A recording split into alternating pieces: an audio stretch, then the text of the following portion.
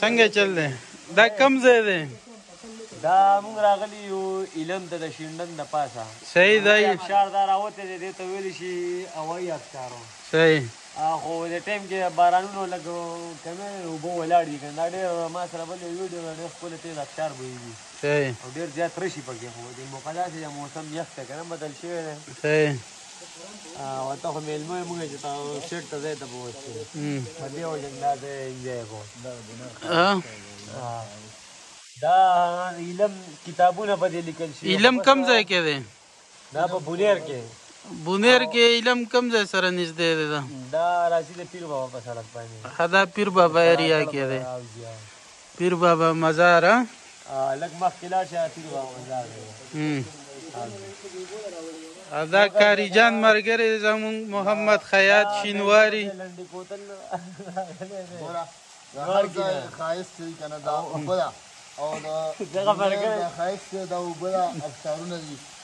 ایلم مشهور غر دی په پښتونخوا کې یو مشهوره نامه لري